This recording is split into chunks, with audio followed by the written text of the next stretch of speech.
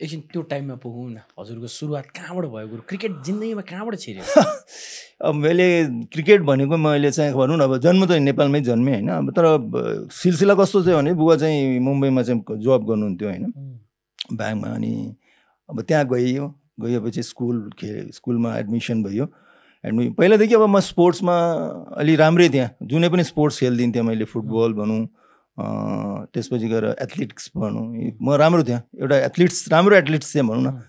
अनि त्यसपछि गएर म फोर्थबाट फिफ्थमा गएँ। फिफ्थदेखि फेरि सिक्समा चाहिँ यस दयानन्द स्कुलमा पढेको। अनि यस क्रिकेटमा फेरि मैले चाहिँ खेल्न त खेलिरहेको थिएँ। त्यो गली क्रिकेट त खेल्थेँ। तर स्कुलमा फर्स्ट टाइम पार्टिसिपेट गर्ने मौका पाएँ स्कोरिङ गरेँ। अनि टिममा राख्यो। अनि एट स्ट्यान्डर्डमा स्कुलको क्याप्टन भएँ त्यहाँबाट। अनि दुईवटा हरिसिल्ड र गाइड सिल्ड गाइड सिल्डको म क्याप्टन थिएँ। होइन हरिसिल्डमा चाहिँ जस मुम्बईको सबभन्दा ठुलो इभेन्ट्स हो त्यो गाइड सिल्ड र हरिसिल्ड भन्ने। जहाँबाट ठुल्ठुलो प्लेयरहरू मतलब मुम्बईबाट चाहिँ आएको प्लेयरहरू सचिन काम्ली होइन जितिन ठाकरे यस्तो यस्तो ठुल्ठुलो प्लेयरहरू चाहिँ जन्मेको ठाउँ त्यो त्यो इभेन्ट्सले जन्माएको क्या अँ, त्यसपछि गएर म नाइन्टिन आई थिङ्क त्यसपछि फर्केँ म नाइन्टिन एट्टी वानमा आई थिङ्क यहाँ नेपालमा आएँ। अनि त्यो सिलसिला भनेको त्यो नागरिकता सिलसिलामा आएको थिएँ म खास अब नागरिकता बनाउनुपर्छ भनेर बुवाले चाहिँ गयो। अनि त्यो धनगढीमा म त्यो कार्यालय त्यहीँ भएकोले अनि धन गएँ। त्यो कहानी धेरै धेरै उसमा इन्टरभ्यूमा मैले भनेको छु यस्तो कुराहरू। अनि म एक घन्टासम्म त्यो फर्म भरेर म एक घन्टासम्म बसेको थिएँ कि म। त्यो ग्राउन्डमा म्याच चालु थियो. एक घन्टासम्म यस्तै इम्प्यो थिएँ। एकै ठाउँबाट। अनि त्यो जुन सेलेक्टर हुनुहुन्थ्यो मोहन बहादुर शाहजी उहाँ अहिले हुनुहुन्न स्वर्गवास हुनुभएको छ।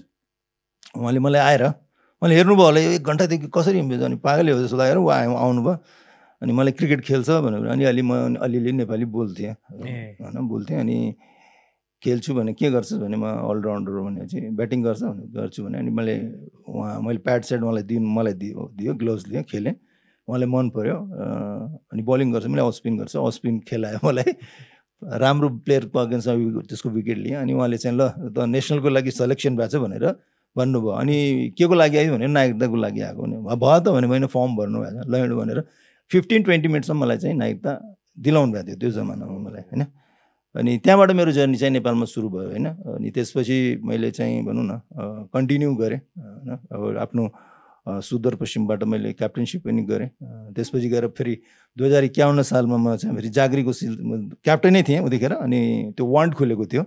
वान्ड खुलिसकेपछि सुनोज के अरे अरुण सरले अरुण अर्याल सर हाम्रो गुरु उहाँले जगत ल फर्म भर भन्नु मैले के को सर फर्म भर्ने होइन कोचिङको असिस्टेन्ट कोचको फर्म खुलेको छ। अनि त्यसको लागि मैले भने होइन गुरु छोडिदिनुहोस् भने अनि होइन भर भर भन्यो भने उहाँले चाहिँ उहाँको उहाँ धेरै थ्याङ्क्स भन्छु म सरलाई होइन? उहाँले नै गरेर म आज यो डेटमा आई थिङ्क मलाई टर्निङ पोइन्ट नै होला सरले भनेको। अनि मैले फर्म भरेँ मैले तिन ठाउँ फर्म भरेँ तिनवटाबाट मैले नाम निकालेँ। नाम निकालिसकेपछि अनि रूपन्देहीबाट मेरो नाम चाहिँ मैले अब भने पर्मानेन्ट र टेम्पोररी जब थियो नि त। अनि मैले टेम्पोररी पनि फर्म भरेको थिएँ पर्मानेन्ट पनि भरेको थिएँ। अनि सरले भन्यो रूपन्देहीमा बस फर चाहिँ ऊ चाहिँ तिमीले राम्रो पनि हुन्छ भने मैले ठिक छ। अनि मैले चाहिँ रूपन्देही चोइस गरेँ। अनि त्यहाँबाट मेरो चाहिँ जर्नी सुरु भयो। त्यसपछि मैले फेरि रूपन्देहीबाट क्रिकेट खेल्न सुरु गरेँ। कोचिङ पनि सुरु गरेँ भनौँ। अब फर्स्ट मेरो चाहिँ असाइटमेन्ट भनेको रूपन्देहीमा छपिया भन्ने ठाउँ थियो। त्यहाँ चाहिँ मैले स्टार्ट गरेँ। जबकि मलाई थाहा छ कि रूपन्देहीमा एकदम राम्रो क्रिकेट हुन्छ किन म खेलिसकेको थिएँ पहिल्यै. क्याप्टनसिप गरेको पनि थिएँ त्यतिखेर क सु सुदूरपश्चिमबाट अनि त्यहाँबाट जर्नी सुरु भयो। जर्नी सुरु भइसकेपछि उहाँ दिलबहादुर दाई हुनुहुन्थ्यो थापाजी. उहाँको फ्यामिली भनौँ न स्पेसली उहाँ पनि क्रिकेट खेल्नु भएको थियो। अनि उहाँको भाइहरू थियो हरि थापा अहिले चाहिँ रूपन्देही क्रिकेट सङ्घको चाहिँ अध्यक्ष हुनुहुन्छ होइन। र उहाँको घरमा म एक महिना बसेँ अनि वहीँ त्यो टिम चाहिँ म ह्यान्डिङ गरेँ अनि आई थिङ्क त्यो टिमलाई मैले जिताएँ त्यहाँ। जिताइसकेपछि अनि फेरि म चाहिँ बुट बुटबल आएँ बुटबलबाट बाहिर भयो सिफ्ट भएँ सो कन्टिन्यू अब भनौँ त्यहाँ तिरुपति क्लब एमसिसी क्लब होइन उहाँसँग म आबद्ध भएँ। आबद्ध भइसकेपछि एउटा राम्रो रिजल्ट पनि दिएँ आफूले पनि खेलेँ होइन। त्यसपछि हामी च्याम्पियन पनि भयौँ। मैले मेरो पिरियड्समा भनौँ अन्डर नाइन्टिन सिनियर्स हामी च्याम्पियन भयौँ। अनि त्यसपछि गएर चाहिँ वीरगन्जमा अब नाइन्टिन नाइन्टी सिक्सको ब्याच जब भयौँ हामी कसरी भयौँ भने चाहिँ नाइन्टी हामी चाहिँ वीरगन्जमा नेसनल खेल्न गएको थियौँ. अनि हामी लस हामी समय आई थिङ्क विराटनगरसँग हाम्रो म्याच थियो मोरङसँग भनौँ न। अनि पाँच पाँच कि चार छ विकेट गइसकेको थियो एट्टी थ्री फोर हामीलाई वान एट्टी वान कि वान नाइन्टी कति प्लस बनाउनु पर्ने थियो त्यतिखेर। अनि उतातिर शङ्कर राणा हाम्रो विकेट किपर थियो अनि मैले शङ्करलाई भने शङ्कर तिमी तिमी एक साइडबाट स्ट तँ रोक है म बनाउँछु स्कोर भने अनि विराटनगरको त्यतिखेरको टिम एकदमै one of the best team थियो। दुई दुई दुई तिन तिनचोटि चाहिँ उहाँहरू च्याम्पियन भइसकेको टिम थियो। अनि माथि बिरगन्जको जुन अडियन्सहरू थियो उहाँहरूले गाली गर्ने हामीलाई ए बाटो यही हो भैरवाको लागि जानुहोस् भनेर। गाली मुख। तोडेर गाली हो एकदमै होइन? अनि मैले भने ठिक छ केही पनि हुँदैन। म्याटिङ युनिट थियो। म्याटिङ युनिटमा थाहा छ कस्तो हुन्छ भने अनि मनि त्यतिखेर मनिष जो अहिले चाहिँ भक्तपुरको चाहिँ अध्यक्ष हुनुहुन्छ। उहाँ पनि हुनुहुन्थ्यो। राजकुमार प्रधान होइन। अशोक आई थिङ्क धेरै राम्रो टिम थियो। अनि मैले वान साइड एक साइड मैले आफूलाई होल्ड गरेँ उसलाई तँ पनि गर म भने मैले एक साइडबाट म्याच क्लोज लिएर गएँ। अनि ठ्याक्कै त्यो बाह्र तेह्र रन हुँदाखेरि आउट उम्, अनि बसन्त आयो अहिले जो हाम्रो टिमको अहिले असिस्टेन्ट हुनुहुन्छ।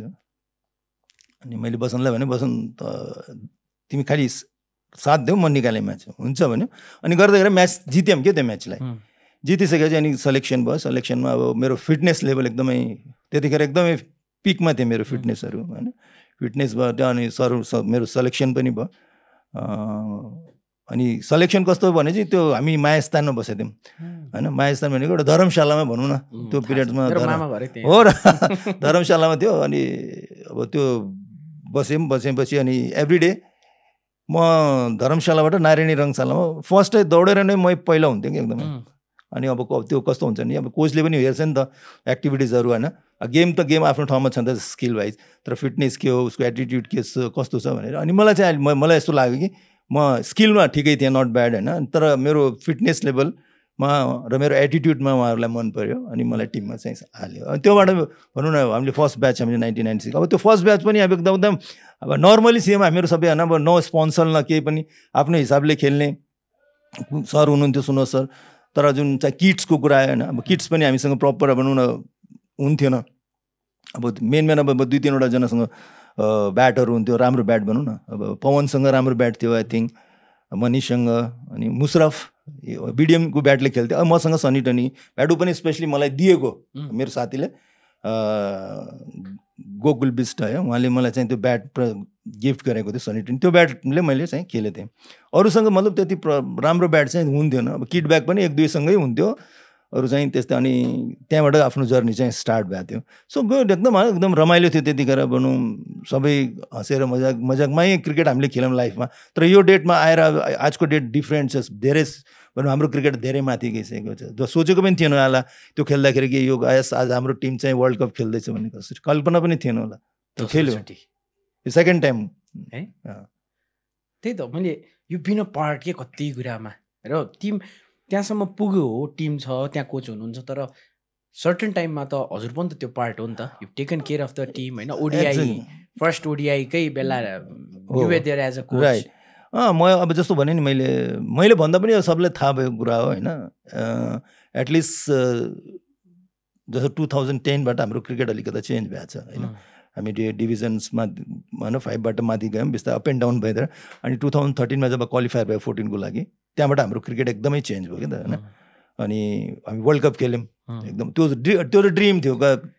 कस्तो होला के होला एक्साइटेड के सबै। होइन? अब वाक्यमा एक्साइटेड थियौँ। त्यो एभ्री डे भनौँ न त्यो जुनु नै थियो। त्यतिखेर त्यो हाम्रो सबै भनौँ पारस क्याप्टन थियो होइन?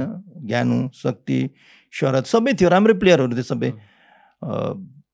शरदको भनौँ त्यो विनिङ सटले होइन दुबईमा त्यो चाहिँ डिफ्रेन्ट नै अनि त्योले हामी चाहिँ वर्ल्ड कप खेल्यौँ। त्यो सबैको सेयर ऊ चाहिँ कन्ट्रिब्युसन छ त्यहाँनिर यो होइन कि सबै प्लेयरको त्यो अनि वर्ल्ड कप खेल्यौँ। वर्ल्ड कपको त्यो भन्यो नि त्यो अहिले पनि आँखामा त्यो झझल्किन्छ त्यो चाहिँ जो हाम्रो फ्रान्सहरू थियो होइन बङ्गलादेशमा ब्याटेड टु झन् फोर्टिनमा होइन। सो त्यो उहाँहरूले जुन सपोर्ट उहाँहरूले जुन आ, त्यो नेपाल नेपाल भनेको चाहिँ साउन्ड अहिले पनि गुन्जिन्छ क्या कानमा। सो त्यो भन्यो त्यो जति पनि व्याख्या गरेर त्यो एकदमै पुग्दैन म भन्छु। त्यो सिन चाहिँ आँखामा आउँछ होइन? त्यो लकी हौँ हामीहरू होइन? कि त्यो टिमसँग पार्ट टिमसँग मौ मौका पायो त्यो पार्टिसिपेट गर्नको लागि। त्यसपछि गएर यस त्यसपछि पुबु सर जानुभयो त्यसपछि टिम मैले ह्यान्डलिङ गरेँ होइन? उतिखेर म राष्ट्रिय खेलकुद परिषदको हेड कोचको नाताले टिम ह्यान्डलिङ गरेँ। ह्यान्डलिङ गरिसकेपछि यस अफकोर्स खुसी पनि लाग्छ होइन? कि आफ्नै पिरियडमा चाहिँ ओडिआई टु थाउजन्ड एटिनमा हामीले पायौँ होइन?